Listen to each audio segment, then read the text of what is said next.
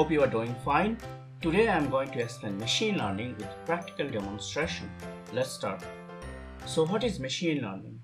Machine learning is the branch of artificial intelligence that helps machine to improve a task with experiences like human being learn from experiences. This is the new paradigm of programming languages that helps us to perform tasks that were infeasible to do before. So, what's the difference between conventional programming and machine learning? Let's look at conventional programming. As you can see, in conventional programming, rules and data go in the system, answers come out from the system. Rules are expressed in programming languages and data can come from variety of sources including databases.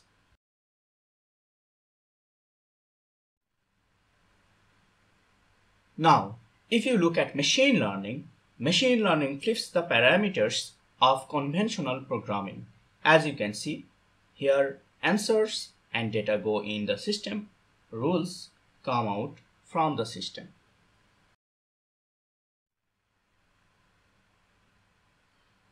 Suppose if we want to classify cats and dogs from cats and dogs images, it's very difficult for us to write the rules explaining the features of cats and dogs for the computer.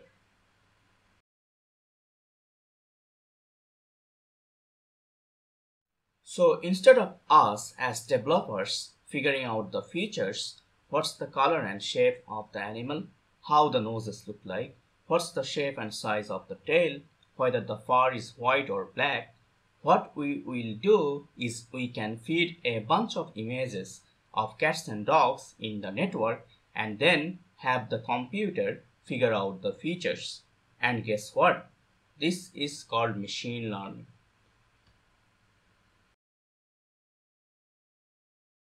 Now, let's look at a set of numbers and see if you can determine the pattern between them. Here, we have two sets of numbers, x and y. Each set has 10 values. The x values are minus 3, minus 2, minus 1, 0, 1, 2, 3, 4, 5, 6 and the corresponding y values are minus 12, minus 9, minus 6, minus 3, 0, 3, 6, 9, 12 and 15. So can you find the relationship between x and y? What's the relationship between x and y? If you can spot it, you have just done the machine learning in your head. Can you? What is it? Oh yeah, it's y equal 3x minus 3. Now let's demonstrate this example in Google Colab. We will define a neural network to determine the relationship between x and y. So let's go there. Let's import our libraries. First, we want to import TensorFlow. We are importing TensorFlow because this is the library where Keras API is located. We need Keras API for building the neural network. We also need to import NumPy library because it helps us to represent our data as list quickly and efficiently import T E N S O R F L O W S T F import numpy as np. Now we like to feed our data. We have to specify x values and y values as numpy array data structure x train equal np dot array minus 3 minus 2 minus 1 4 1 2 3 4 5 6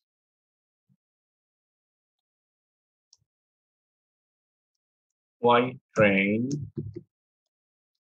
equal np dot array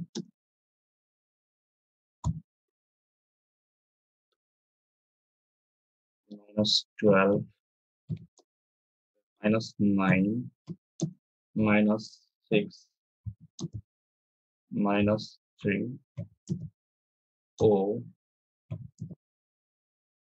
3 6 9 12 15 next we will define our sequential neural network model with two layers.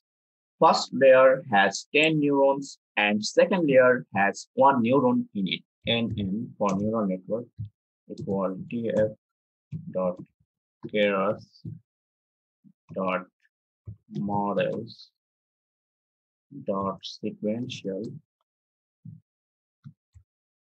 sequential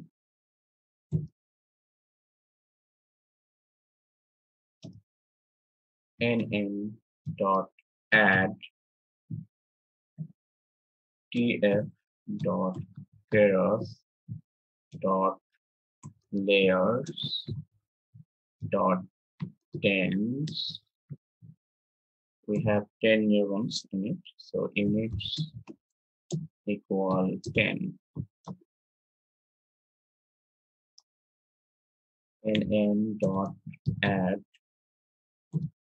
tf dot keras dot layers dot dense tens. Units equal one only one unit.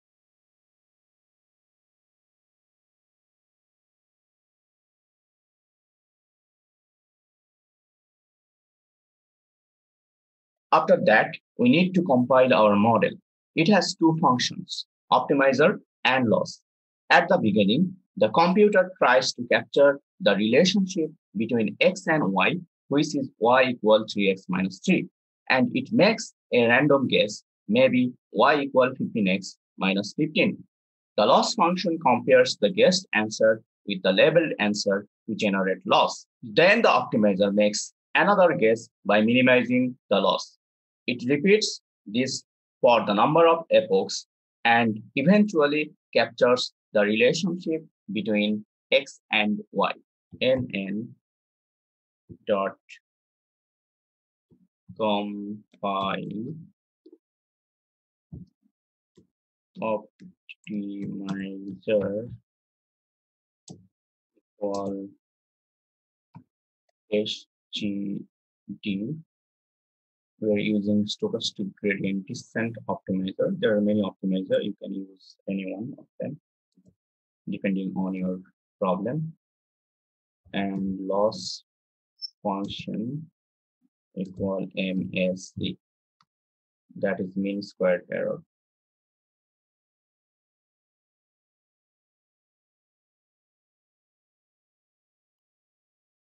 Next, we have to train our model with model.fit call. We like to train our model for 1000 epochs. When model evaluates all data for a single time, that makes one epoch. nn dot fit x train comma y train comma a CS epochs equal 1000. Now let's train our model.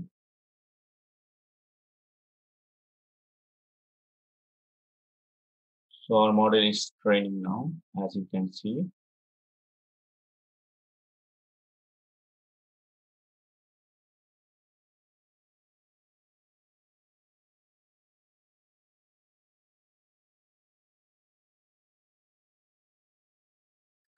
So our model is trained for 1000 epoch. Now, if you go up, you can see at the beginning how much is lost there.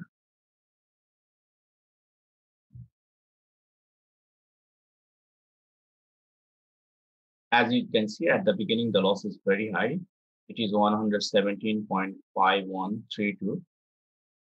But epoch by epoch, the loss is reducing, as you can see.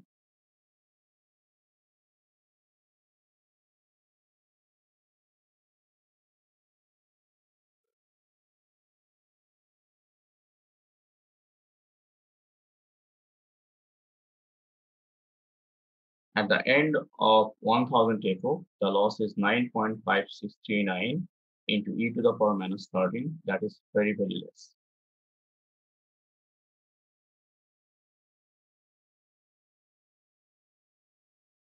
Now we can use nn.predict method to figure out y values for new x values. Prediction equal nn dot predict gate. Let's predict for 15. Let's print our corresponding y value. P-R-I-N-T, P-R-E-D-I-C, T-I-1.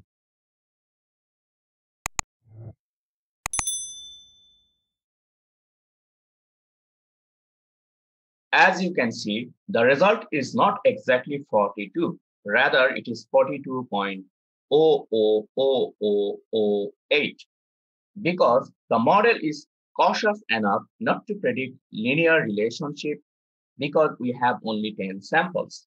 So it predicts the realistic answer for the given x value. This is all for today. Hope it helps. See you in another tutorial. Up to then, take care.